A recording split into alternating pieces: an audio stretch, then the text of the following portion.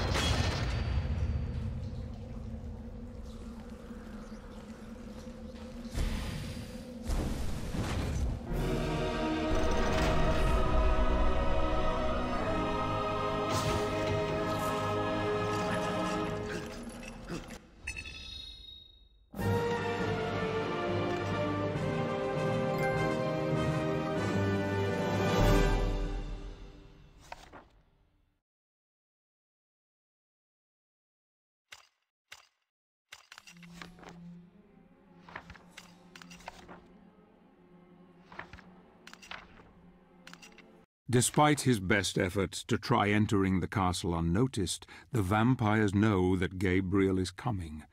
Night is fast approaching, and soon he will have to use all his wits and powers to defeat what nightmares inhabit this place of death and decay.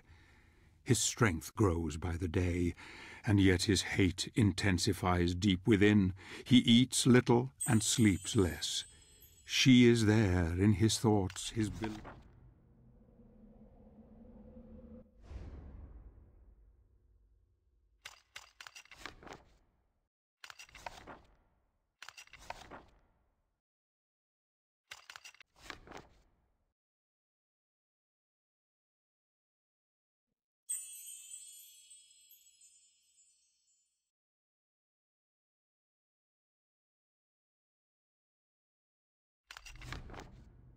Hm.